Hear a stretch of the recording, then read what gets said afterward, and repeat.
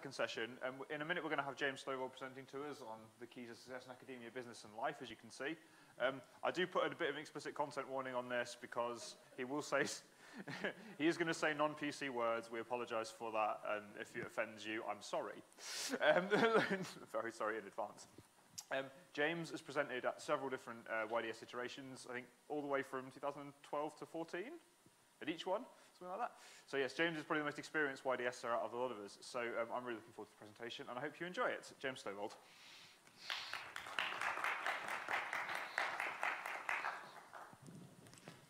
Hello.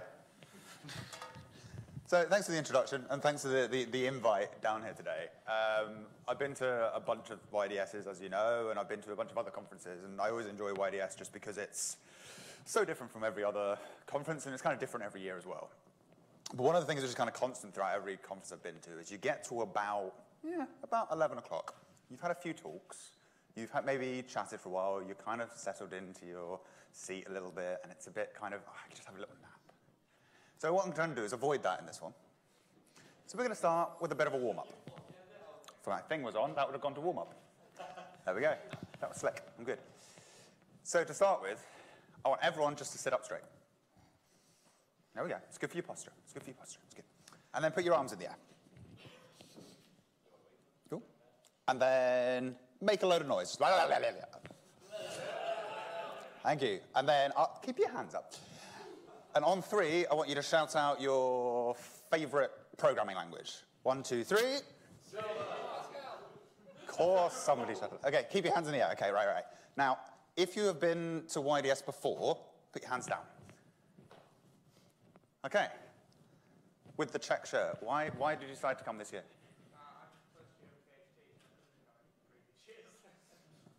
You could have come before, you could have attended. Is this your first year as well?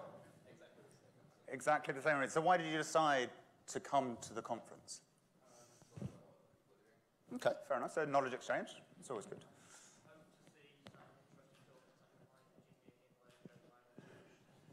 And you've got me. Fantastic. Okay, cheers, guys. Um, so YDS has been kind of a constant throughout my university career. So I started university in 2007 as a lowly fresher with a slightly strange sense of style um, at the same year that YDS started. And then this year I graduated from York with my PhD with a similar strange sense of style, except it was imposed on me this time. And throughout that time, there's always been around. And I always just assumed that it was something the older kids did, you know, uh, it's fine. It was just something which happened in the pod or happened in one of the common rooms. And it wasn't until I started to get towards the end of my undergrad and I started to do my master's that I realized it was something I could take part in, I could actually get involved in. And it's kind of good that I did, because when I look at my CV now, it would be a bit bare if it didn't have YDS on it. Um, so, so I started back in 2012, and this was uh, when we were still upstairs here. We were in the lake house. And I immediately was like, well, I'll get involved. I'll be a PC member. Why not? Um, and I did a presentation. This one was on my master's. My master's was something ridiculous, like um, using chemical reactions to model neural networks. So it was about as ridiculous as I could get because I like doing ridiculous things. That's why I'm in academia. And somehow I ended up with the Best Presentation Award.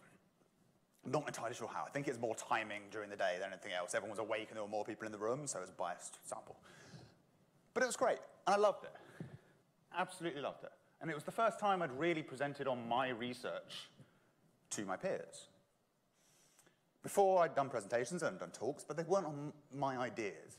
And there's something so fundamental about presenting an idea which is so personal to you because you came up with it and putting it out into the world to be critiqued.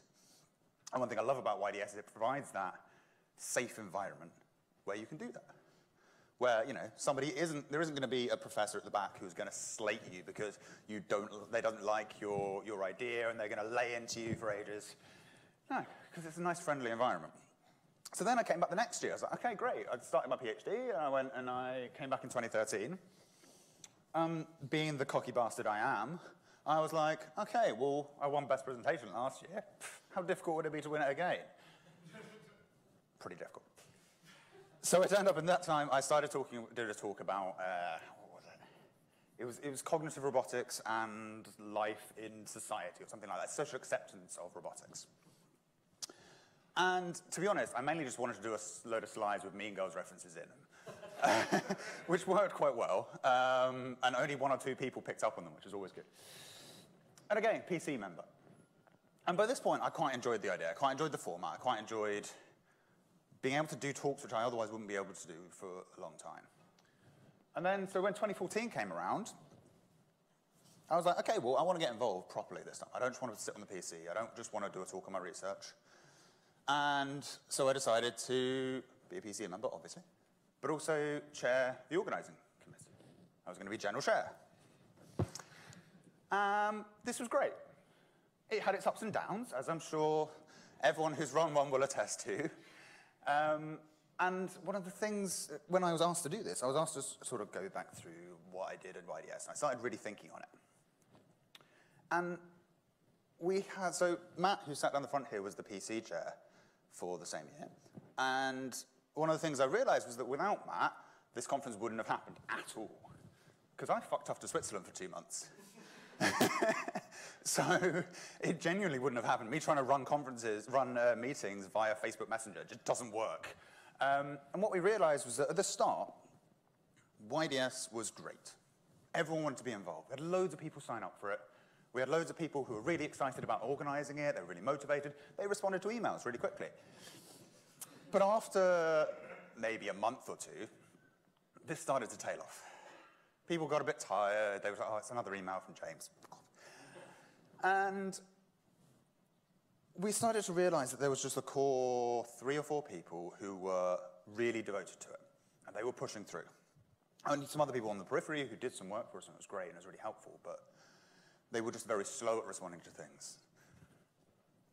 And the more I thought about this, the more I realized that it, it kind of mirrors what you do in a PhD. In a PhD, you start off in first year. You start off and you're really excited about your topic. You're really excited about reading about it. You're really excited about everything. You want to tell everyone about it. You want to talk about it all day long.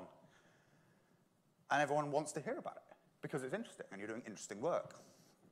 But after the first year or so, you, people tend to get a bit bored of it. People tend to, you know, oh, he's still talking about bloody robotics. Shut up already. I just want a pint. Like, or just like, haven't you finished school yet? Like, why are you still there? You've been at school for 27 years, for Christ's sake. And by that point, Christmas becomes a bit of a chore. And you, you start to lose motivation. And what you get is this valley. the valley of shit. And this typically will kick in towards the end of second year. And if you haven't got to this point in your PhD, I guarantee you this will happen. This is a well-documented phenomenon. Everyone who's completed a PhD will have that valley somewhere in there. And there's a lot of smiling, nodding faces at the back, people who have completed their PhD going, yeah, I remember that well. Now for me, that valley of shit was a three-month period where I was trying to find one bug in my code. Bear in mind that my code wasn't complicated. It was complex.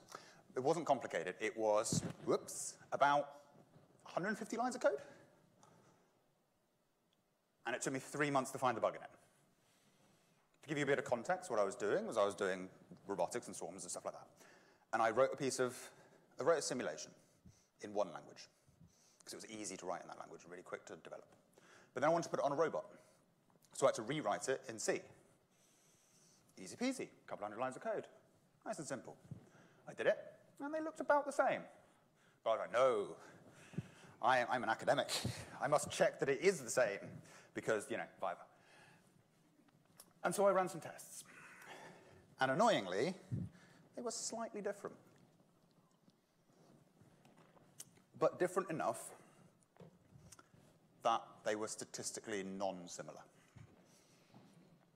So three months later, I'm literally head-butting my desk every day trying to work out how there, there must be other lines of code, which is other than this, which is screwing this up. There was a bug in the language. Not in C, for the record. Um, I'd say a bug. It was a, a difference in implementation style. Let's put it that way. but I found it. I won't repeat what I said when I found it. But fortunately, it was an open source language, so I could get the code. Otherwise, I'd still be at it. But this valley of shit is something which happens everywhere. It's not just PhDs, it's not just YDS. It's every time you try and introduce a new idea or a new concept or change people's cultural ways of doing things. So in a company, for example, if you want to shift culture towards using data rather than making stuff up, you'll encounter a value ship. And why am I telling you this? Now, I'm telling you this because the first years in the audience are going to encounter this. And I want you to get through it. I don't want you to crash and burn. As much as some people might think I'm a grumpy bastard, I do actually think that people should get PhDs, if they deserve them. Um, and I want you to get through it. I want you to march through it. I don't want you to be struggling through it the same way I did. I want you to go through it to such an extent that it's a mere blip on your radar, which you can just blast straight through. And then you go out into the world. And in the world, these are everywhere. Startups. They call it a valley of death because business. They don't like saying shit a lot. I'm an academic. It's great I what I like. They do some research. They do some development. Look at this money. It's just tipping down here. Now, what isn't on here is the fact that motivation does this kind of same thing we saw in uh, a PhD. It kind of does that. And it drops at the same time that you're getting to the bottom of that valley of death of money. Same thing here. Profit and loss. Again, death valley, business, boring. But what's key here is that, okay, motivation's high. Yeah, okay, we've got an idea. Let's get on board with it. Let's do it. Yeah, it's great. After a while, oh, well, you haven't actually shown that it works. You showed that it works in this one small case, but we now want to implement it. People get bored, they get fed up, they want results now. You lose motivation, you lose investment. And eventually, if you make it out, you end up actually implementing stuff. Now, there's a great quote, and I don't know who said it, which annoys me. I tried to find it, cite sources. And so the source which I got this quote from was Kevin McCloud on Grand Designs, because I'm really cool like that. And its revolution is exhausting.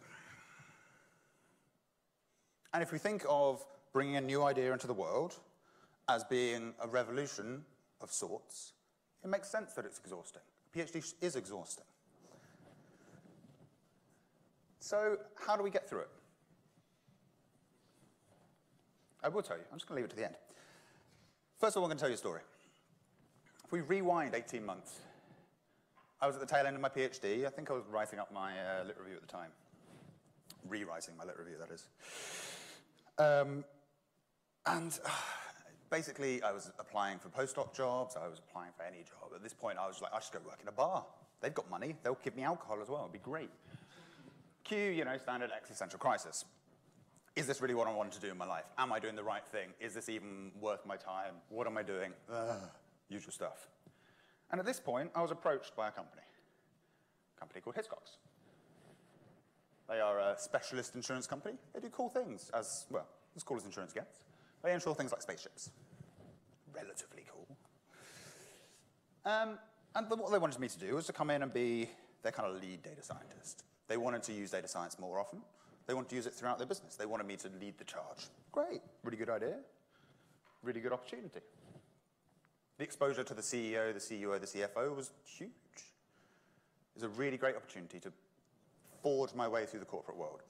And I got to do cool tech. So I got to work with a company called Digital Fineprint. They're a startup. They started about a year ago using social media analytics within insurance. And I got to be that subject matter expert. Plus, I got to go to work dressed like this. Um, which I despise, by the way. There's a reason I'm not wearing a suit today, because I've worn enough suits in my life now. Um, but what I found, that even though this was an incredible opportunity, my motivation did that. Okay? Over the next, oh, apparently I've got an update. Um, the next sort of 12 months, it went down. Now, you can tell I've been in the corporate world for a little bit of time because there are no labels on this axis. but that's time. That's either motivation or energy, depending on how you look at it. Now, me being the rational, intelligent, highly educated, good looking, humorous, modest person that I am, um, I started to rationalize in much the way that most of you would do as well. You're intelligent, you can work things out, it's fine. So I rationalized. It's fine. It's merely a, a dip on my otherwise meteoric rise to stardom. Oh, it's just, it's just a valley of shit. I've done this before, it's fine, I can push through. And it's just the natural ebb and flow of life. This is just a down, there'll be an up shortly afterwards. And my personal favorite, the grass is greener excuse. It's just the wrong company for me. If I join a startup, it'll be great. If I get that job at Google, it'll be great. If I go back to academia, it'll be great. It's just this one thing. And then something happened. I had the single worst month of my life. Worse than the Valley of Shit. I won't go into the details of it, but essentially, that's pretty close to what happened. I almost hit the bottom. I was struggling to get out of bed. It'd take me an hour and a half to get the first foot on the floor. I'd run out of energy by 10 a.m. because the amount of energy required to get out of bed and get to work and then just say hello to my boss in the morning was enough. I was done at that point. Then I had to do a full day of work. I couldn't come up with ideas. I couldn't see my way through problems. It was like there was a cloud.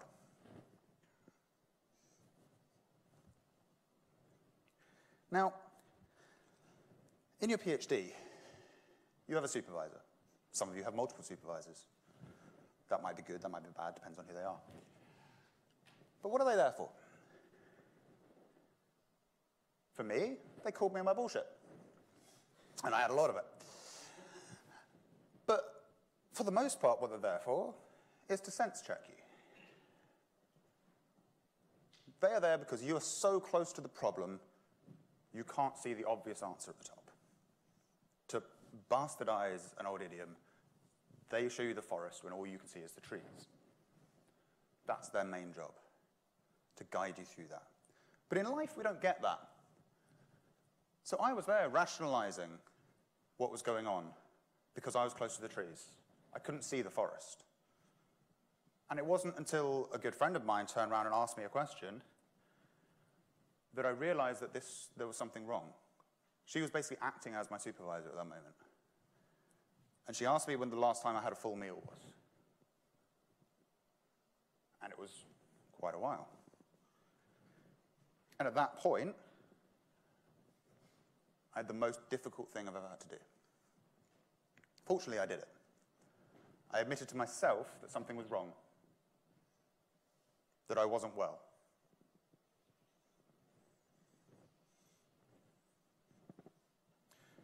So, how did we get to this point? We were here. How come this little dip at the bottom here caused so much trouble? Sure, I had a bad month, fine. Was it that bad? Or should I have been able to deal with it? I argue that that's more of a normal trajectory for people's energy and motivation over life. And then when the bad month happens, okay, well, you've still got all of this in reserve. But that wasn't the case for me. For me, every time I had a trough, the peak that followed it was tiny. I wasn't recovering from those troughs. The key difference between these two lines is that I have depression.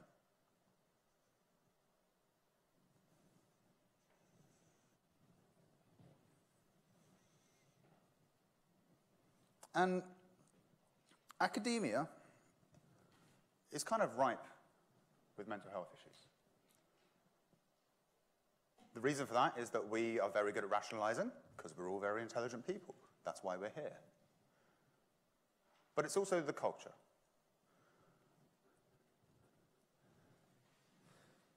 Who's seen that before? A few nods. See, we kind of giggle at it, we kind of laugh at it because some people might be writing up and thinking, I could be writing right now.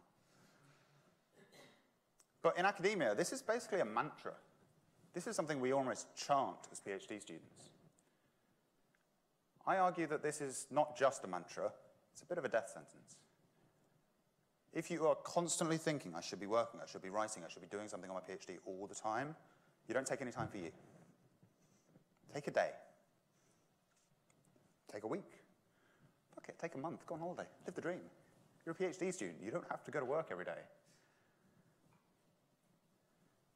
Which brings me to my final point. The key, my key to success in academia, business, and life got the title in there. It's great. My one key is to talk. Find a supervisor.